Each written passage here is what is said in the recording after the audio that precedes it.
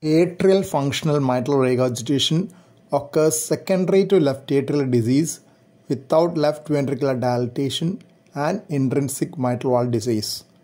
Atrial functional MR typically occurs in the setting of long standing atrial fibrillation.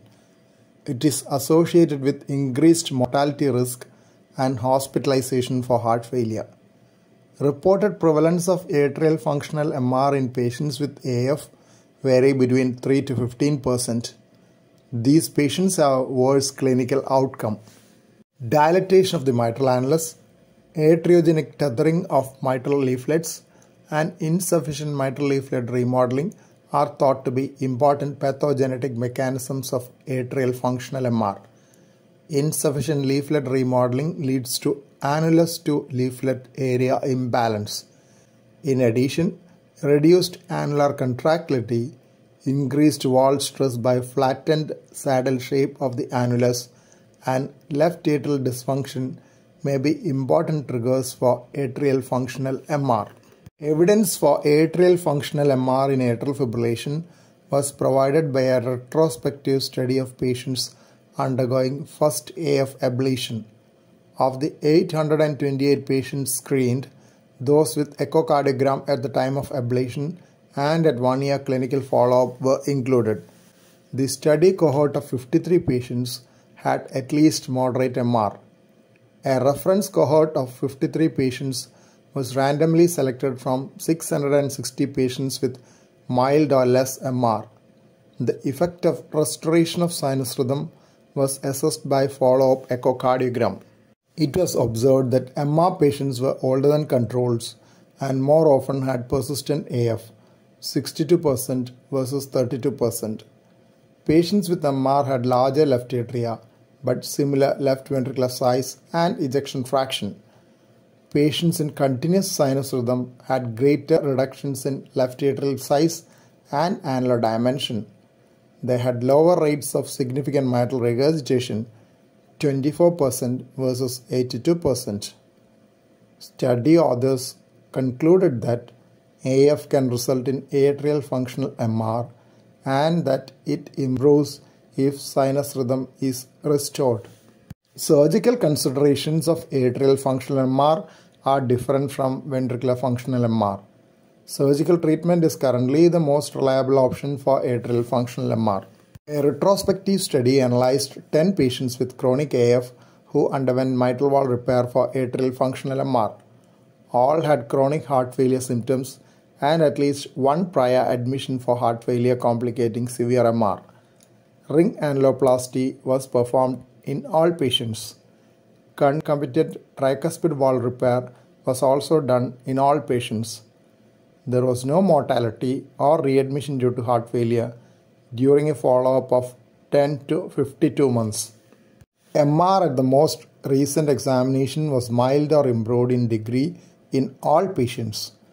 Left atrial volume index decreased and New York Heart Association functional class improved dramatically. Mitral valve adaptation to isolated annular dilatation in atrial functional MR due to AF has been evaluated by three dimensional echocardiography. Of the 86 patients in the study, 53 had non valvular persistent AF without left ventricular dysfunction or dilatation. 33 were normal controls. Total mitral leaflet area was 22% larger in AF patients than in controls. As annular area increased, adaptive indices mitral leaflet area to annular area ratio and mitral leaflet area to closure area plateaued. MR increased as the ratio of mitral leaflet area to closure area decreased. Though the posterior to anterior mitral leaflet area remained constant, posterior to anterior mitral annulus perimeter increased.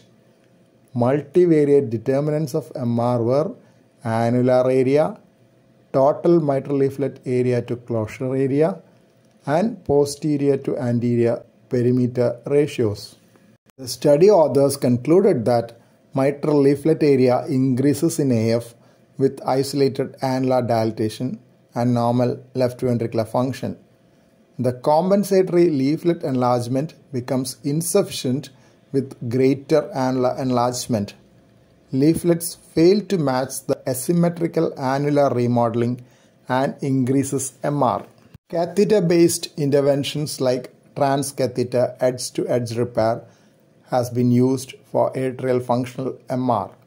Various devices to mimic surgical annuloplasty are being developed for the treatment of atrial functional MR.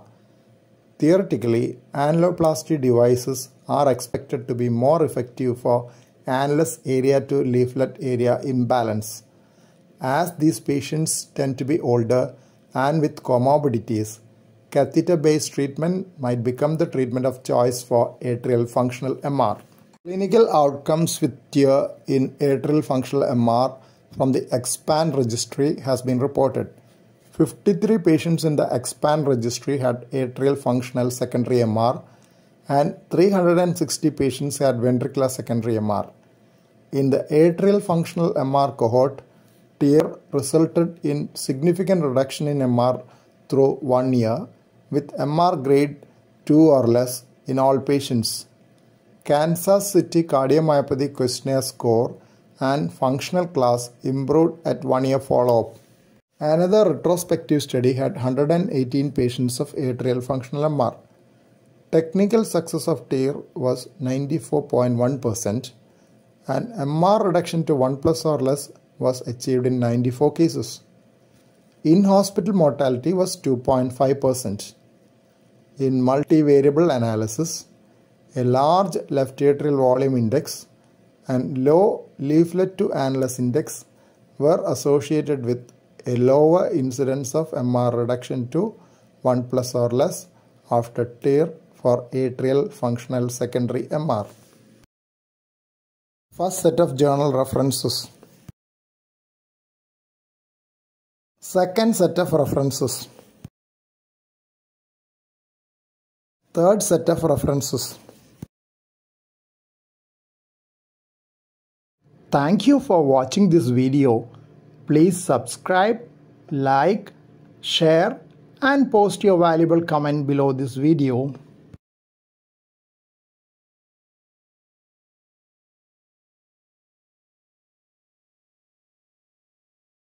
Kindly press the bell icon after that for getting all updates.